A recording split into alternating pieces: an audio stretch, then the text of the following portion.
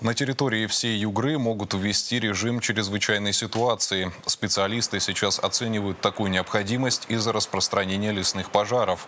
Об этом губернатор региона Наталья Комарова сообщила в своем телеграм-канале. С утра 7 июля в нашем округе огнеборцы тушат 48 пожаров в тайге и 6 ландшафтных. 9 и 1 участков, соответственно, удалось локализовать. Борются с огнем на общей площади 2800 гектаров 420 спасателей.